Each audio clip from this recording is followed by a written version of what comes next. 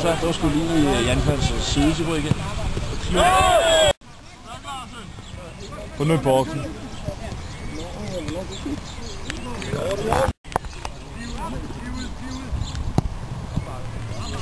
Okay.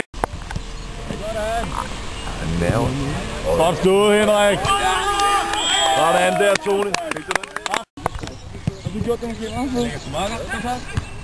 Yes, sådan der, gutter!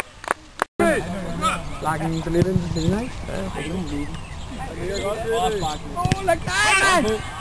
Ej!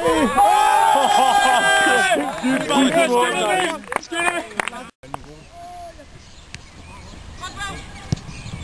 Ja, ja, udmærket, Tom.